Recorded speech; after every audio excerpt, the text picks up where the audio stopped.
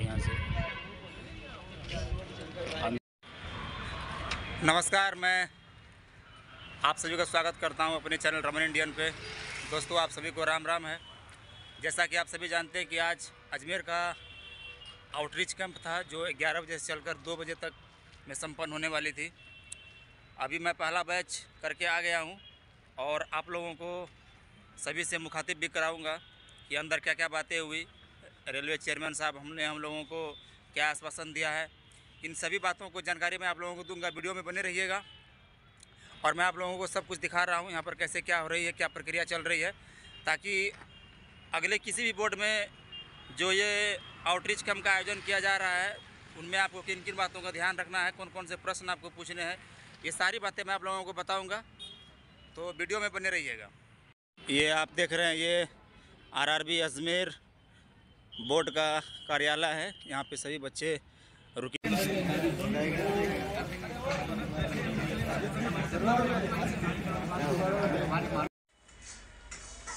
दोस्तों, जब मैं तेईस तारीख को आउटरीच ख़त्म होने के बाद अजमेर से अपने घर के लिए चला तो मैं 25 तारीख को घर पहुँचा।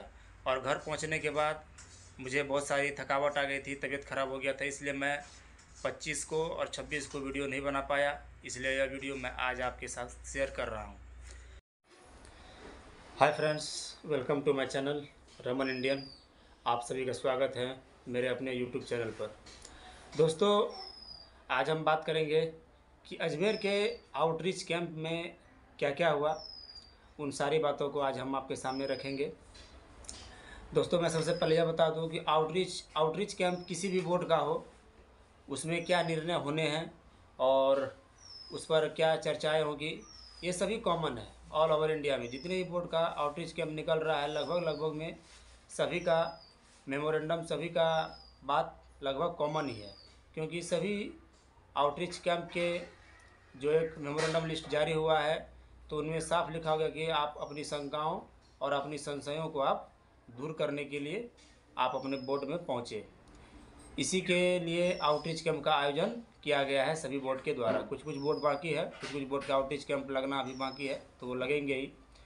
तो चलिए मैं आप लोगों को आज यह बताना चाहता हूँ कि अजमेर बोर्ड में जब यह कैंप का आयोजन हुआ तो हम लोग तेईस तारीख को वहाँ पहुँचे और उसके अंदर क्या क्या बातें हुई चेयरमैन साहब आके जितने भी वेटिंग के कैंडिडेट थे, उन सभी से क्या क्या बातचीत हुई, मैं आप लोगों को आज उनसे रूबरू कराऊँगा। तो आप वीडियो में बने रहिए वीडियो हो सकता है कि थोड़ा सा लंबा हो। दोस्तों, सबसे पहले मैं यह कहना चाहता हूँ कि यह वेटिंग का जो मुद्दा है स्टैंड बाय का जो मुद्दा है तो यह किसी का व्यक्तिगत नहीं है, यह सामूहिक है। और जब बात सामूहिक आती है, सार्वजनिक आती है तो सभी के द्वारा एक साथ यूनिटी बनाकर चलना काफ़ी फ़ायदेमंद होता है। और यूनिटी हम लोगों में बनी भी, बनी हुई भी है।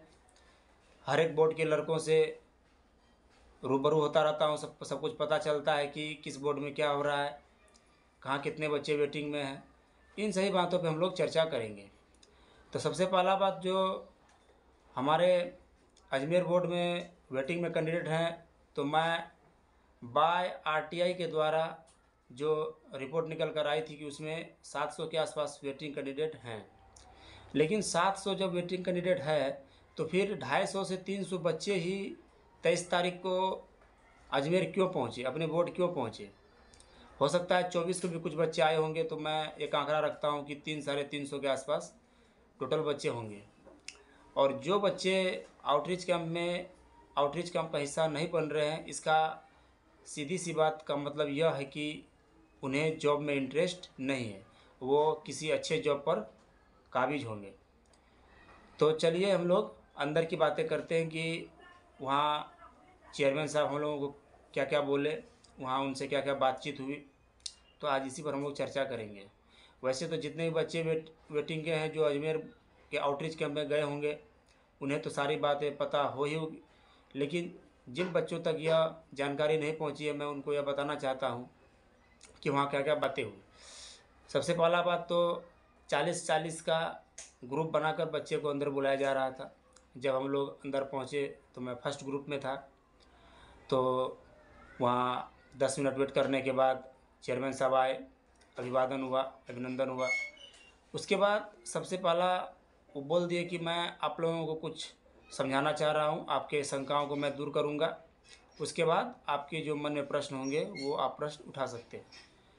तो चेयरमैन साहब ने बोला कि सबसे पहला बात तो मैं यह बताना चाहता हूँ आप सभी को कि स्टैंड बाय का मतलब यह बिल्कुल भी नहीं होता है कि आपको जॉब मिल ही जाएगी।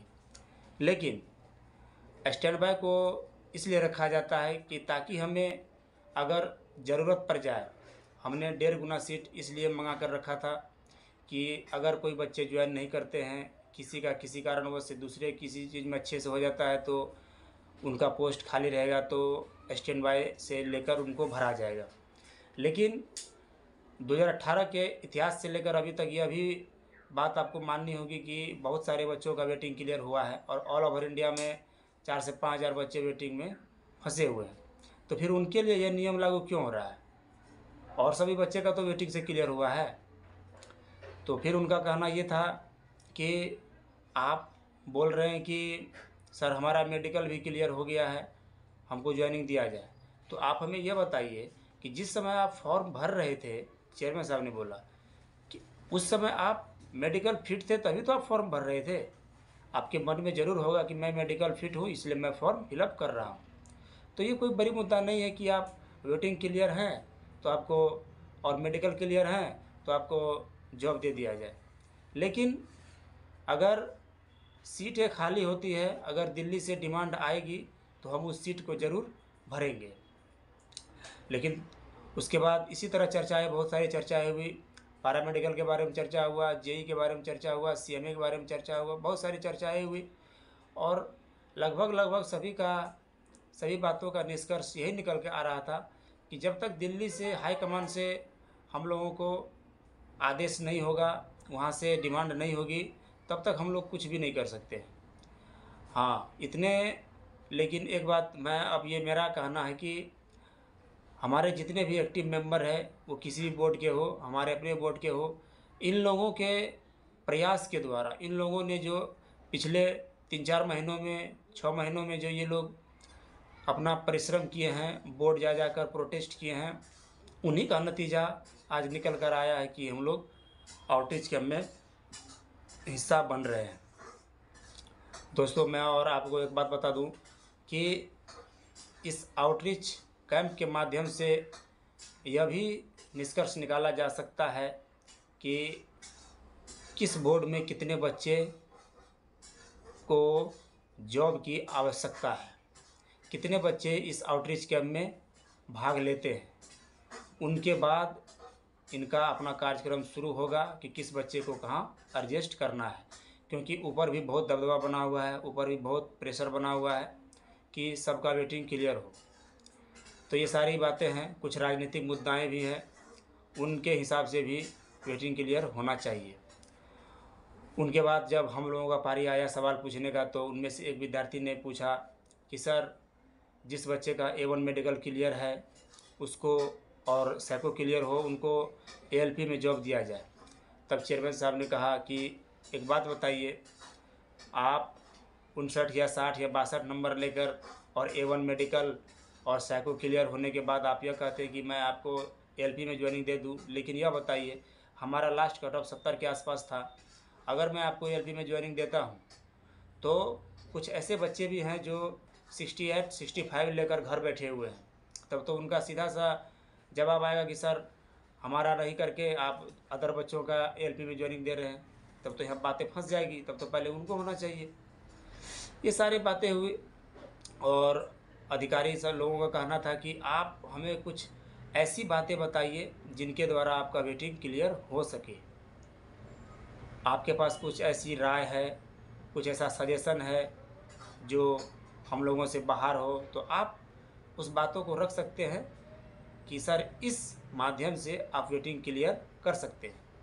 तो विद्यार्थी ने कहा, सर, मल्टी स्कूल लागू होना चाहिए और मल्टी स्कूल के द्वारा सभी का वेटिंग क्लियर हो जाएगा। तब अधिकारी बोले कि, मान लीजिए मल्टी स्कूल लागू हो जाए तो यह पॉसिबल नहीं है, क्योंकि अगर कुछ बच्चे इलेक्ट्रीशियन के हैं और वो तार जोड़ना और वो इलेक्ट्रिक काम जानते हैं तो ऐसा तो नहीं कि मैं उसको प्लम्बर में दे दूँ। और प्लम्बर का काम होता है, नल का पाइप फिट करना और भी सारे, बहुत सारे काम हैं। तो जो बिजली का काम सीख कर आया है, जिनका आई में ट्रेड इलेक्ट्रीशियन था तो वो प्लम्बर का काम कैसे कर सकता है? इसलिए मल्टी स्किल लागू होने में होने में थोड़ा समय है, अभी नहीं हो पाएगा, ऐसा अधिकारी ने बोला। उसके बाद जो अजमेर बोर्ड से 10 दस 2022 को जो पैनल लागू हुआ था, उनके कुछ बच्चों को नोटिफिकेशन नहीं गया था, और उनको डिवीज़न अलॉटमेंट नहीं हुआ था तो ऐसे बच्चे भी वहाँ पहुँचे थे तो उनका वहाँ पर नाम अलग से लिखा गया कि आपको नोटिफिकेशन भेजा जाएगा, बहुत ही जल्द।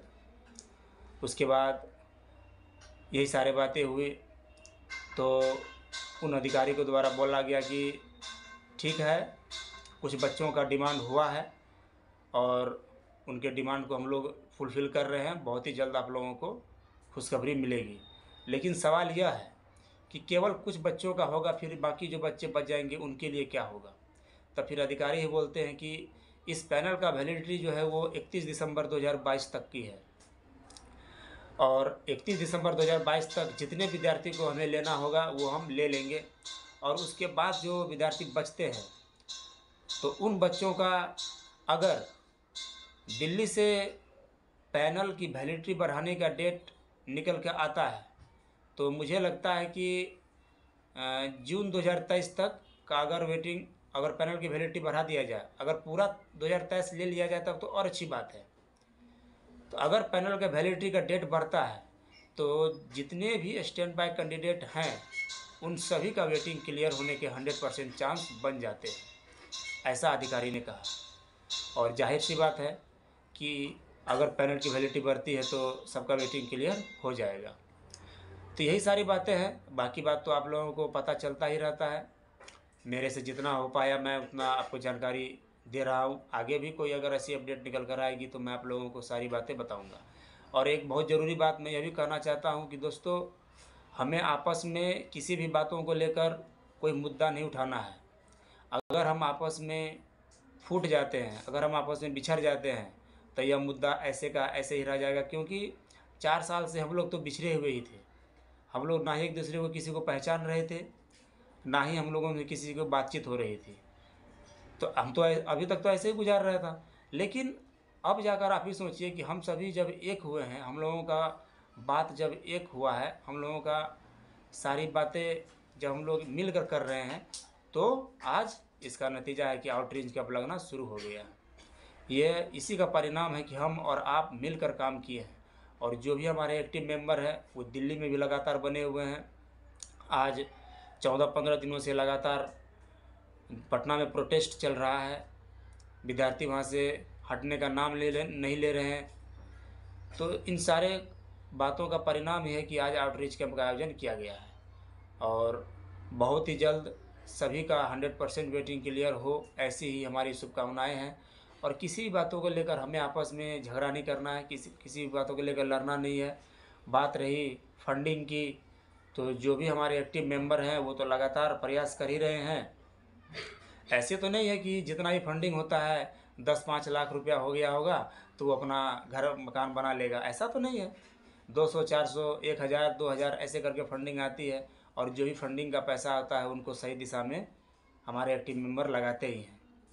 तो मैं आप लोगों से हाथ जोड़कर निवेदन करता हूँ कि आप लोग आपस में बिल्कुल भी ना लड़ें, किसी भी बातों को लेकर। हमारी और आपकी बातें एक है। ऐसा नहीं है कि कोई अगर टेक्नीशियन का लड़े तो केवल वो टेक्नीशियन का वेटिंग क्लियर हो जाएगा। नहीं, क्योंकि technician J E C M A paramedical सभी का बात एक है और हम सभी को एक मिलकर एकजुट होकर ही लड़ना होगा। जब हमें आज़ादी अकेले लड़कर नहीं मिल पाई, सबका सार्वजनिक रूप से साथ मिला। आप लोगों को इतिहास तो पता ही है। इसलिए किसी भी बातों को मनवाने के लिए, सरकार को मनवाने के लिए एकजुट का होना ज़रूरी होता है। तो यही सारी बातें हैं। फिर कोई ऐसी अपडेट निकल कर आएगी तो मैं आप लोगों से बिल्कुल रूबरू होऊँगा। तब तक के लिए जय हिंद, जय भारत।